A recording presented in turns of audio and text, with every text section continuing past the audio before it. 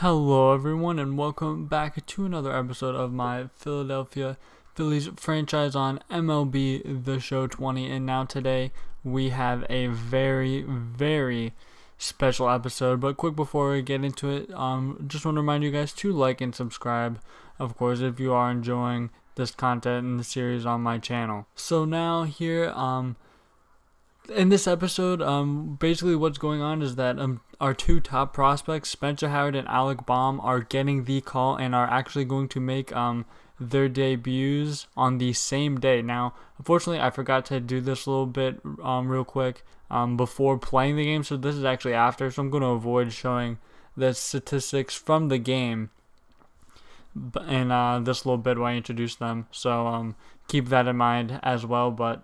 Okay, so I mean, here just looking at Howard, um, course he has been called up. He's on the roster officially. Um, pretty good stats. I mean, he at this point he's pretty much a strikeout guy. Um, pretty raw. Um, walks a decent amount of guys, gives up a decent amount of homers. Um, decent at um just not only hits in general, but uh, definitely a strikeout guy with a uh, limited control. But of course, um, we are hoping that he can develop that as his career moves along. And in addition, to Spencer Howard, he will be donning the number 29 um, for the Philadelphia Phillies. Of course, um, he was, um, he is defaulted to 83 in this game, but of course, that is not realistic at all. Um, not a realistic number for a top player on a team, unless he really would go ahead and choose him. Of course, we're all about realism on this channel, so we went ahead and gave him 29. Now, of course, our other top prospect, Alec Bohm, is also getting um, his debut today, as I mentioned earlier. He, of course, is um, really known for his bat. Um, pretty um, well-rounded bat at that too. Um, pretty decent on-base skill. Um, doesn't strike out a lot. Um, can hit for um, average and power. Um, pretty much a really all-around great hitter. Of course, um, there is some to be desired in the field um, whether his future be at uh, a quarter infield spot or if it's in uh, left field, which I kind of mentioned um, earlier in the series that that could be a possibility, and um, in this series and a possibility that I think um, could come to fruition in real life, uh, depending on how things shake out with the roster. But again, here is kind of his profile um, as a player um, before we get into his debut. And then also Alec Bohm will be wearing um, number 18 for the Phillies because of course we don't want him wearing number 80. And I'm pretty sure he uh, also wore um, 18 in Double A and uh, in his minor league career so far. Getting into the action now, um, the 52 and 62 Phillies taking on the Reds, who are in the playoff hunt in the NL Central. Spencer Howard, of course, taking the mound for us today. His major league debut. So very, very exciting stuff right here Phillies. So now Spencer Howard going ahead and facing the first batter of his career, um, Akiyama. Of course, the um, international player that is new to the Reds, and he gets him to line out to Bryce Harper. And now here taking a quick look at the Reds lineup, just showing kind of what they got. They have former Philly uh, shortstop Freddie Galvis sliding in the seven hole, and other than that, um, a pretty standard lineup that you could expect from the Reds this season. Now jumping back into the game, very next batter, Jesse Winker, and he goes down. Howard left that fastball over the middle, but Winker um still just not able to make contact. So that is Howard's first major league strikeout. Now Castellanos here um, would single, and uh, so Howard would get his first strikeout and allow his first hit in the top of the first inning while on the mound for the Phillies. And then here, the very next batter, Eugenio Suarez comes up and Howard gets another strikeout on a nice slider. Luis Castillo was on the mound for the Reds today. He has been pretty decent for them so far this season. Of course, one of their um, top line starters and a very important um, to their major league ball club. And uh, Castillo would not exactly have the same uh, start that Spencer Howard would, as a Howard,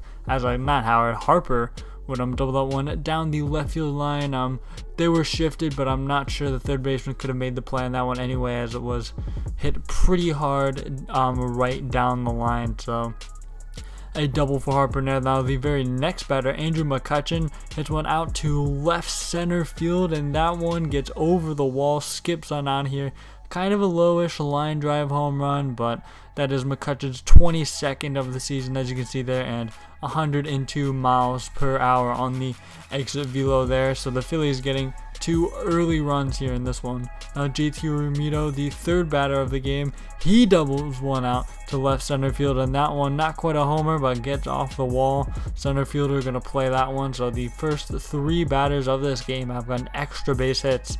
So again, not a fantastic start for Castillo at all. Not exactly what you want if you're the Reds. Now the Phillies lineup.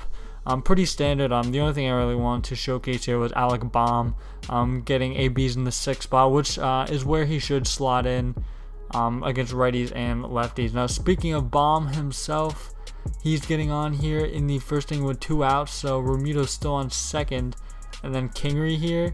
Um, again, another walk. So two straight walks for Castillo. So this first inning getting even worse for him, and then he walks Haseley. So he walks three batters in a row, and I give Spencer Howard a pretty big first at bat with the bases loaded of his, his career.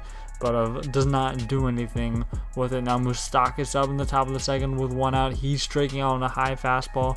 Howard, of course, uh, has some pretty good stuff and can uh, run up that fastball a little bit. Now Harper here walking on a borderline pitch in the top of the second, I mean the bottom to lead things off, and McCutchen again crushing that one. So two at bats, two homers in this game. That one um, out to more kind of center field, but uh, very far, 442 feet, absolute moonshot for his 23rd of the year. Now Realmuto up, still no one out in the bottom of the second, and he's hitting one this time out to right field, and that one's gonna barely scrape over the wall. So Realmuto, his 17th of the season, and that one barely getting over that right field wall, but Castillo just struggling, just serving everything up, and that would do it for him as Jose De Leon would come in for the Reds, so Castillo does not even get through two innings.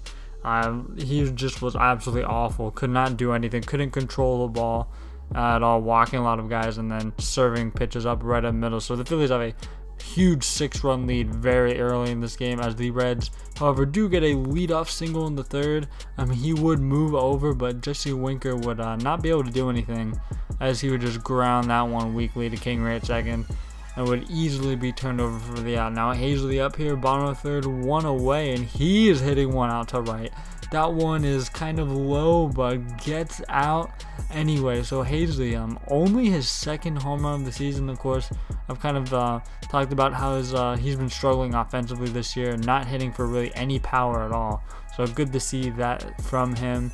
And here Castellanos, um, just letting that high fastball go right by him there. Now jumping into the top of the fifth, Howard still cruising along um, very nicely. Here's a double um, to lead off the inning, so maybe Howard getting to a, a little bit of trouble here as he kind of rounds uh, his third trip around the Reds lineup. And the Reds, uh, do not forget, are a pretty decent team.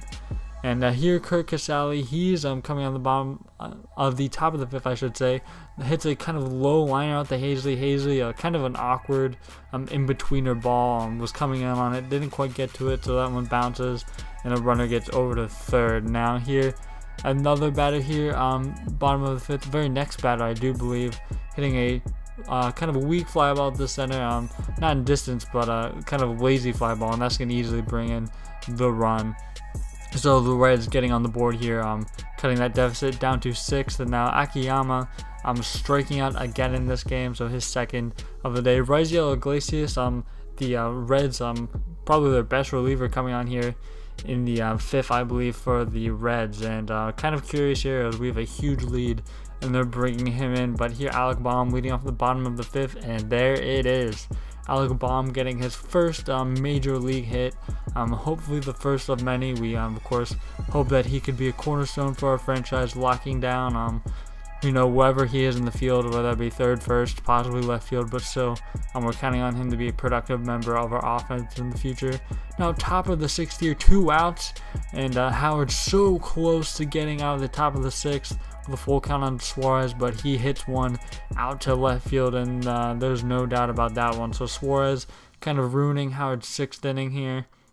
So, uh, who was cruising along in this game without really any problem. Now, Moustakas, then very next batter, 1 1 count on him, and he hits one out to right.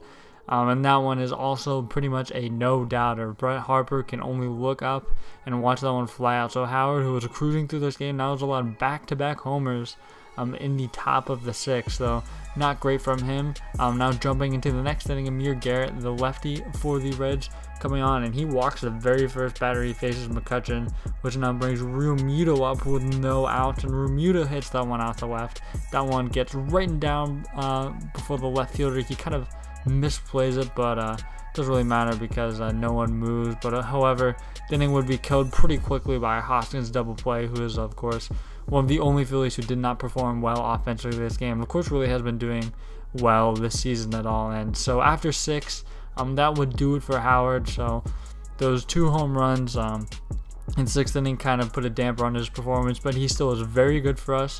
I believe he struck out nine over those six innings. That didn't walk anyone.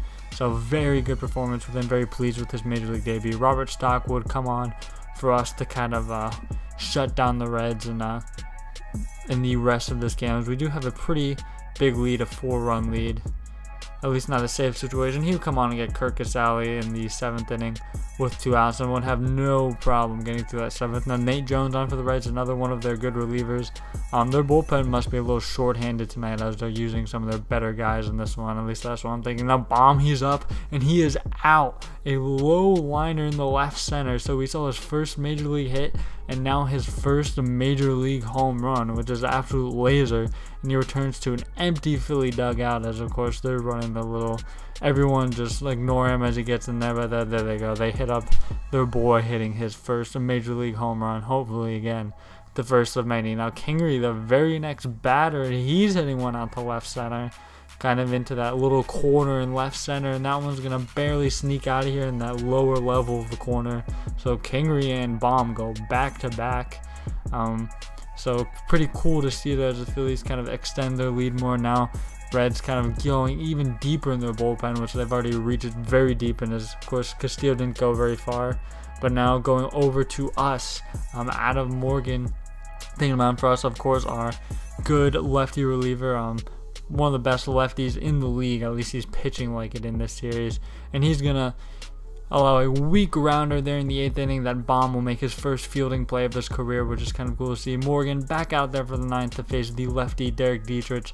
No problem for him, and that would bring us to a call in Victor Arano, who was recently called from triple, recalled from AAA, uh, with uh, of recent, and he would have no problem finishing this one, striking out Curt Casali. So the Phillies um, get a ton of offensive support in Spencer Howard's major league debut again. Very, very nice performance from him tonight. Um, pretty much everything was working for the Phillies, starting with uh, McCutchen's homer early in the game. Um, pretty much everybody carrying the offense. Most guys had a hit tonight. Alec Bohm, of course, very good tonight, getting his first major league hit and his first major league home run in the same game. So quite a debut from uh, a tandem that we definitely expect to be a big part of our organization um, in the future. And uh, yeah, as you can see there, 10 to 3 is the final score in this one. Again, our offense was just clicking on all cylinders. Spencer Howard also was fantastic for us, and our bullpen also pitched some shutdown ball for us. And yes, uh, so yeah, um, there's the actual stats. Howard, um, seven strikeouts and three earned runs in six innings, so pretty good start for him. So that's going to do it for this episode, guys. Do not forget to like and subscribe if you have enjoyed the content. So I will see you guys next video.